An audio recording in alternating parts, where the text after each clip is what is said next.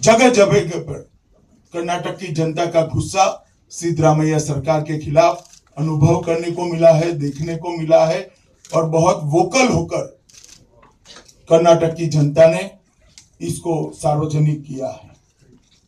ये पाँच साल के अंदर 3500 से ज़्यादा किसान मजबूरी के कारण आत्महत्या की है। और ये किसानों की आत्महत्या का वृद्धि दर समग्र भारत में सबसे ज़्यादा। है 173 परसेंट के रैपिड वृद्धि दर के साथ ये आत्महत्याएँ बढ़ी है।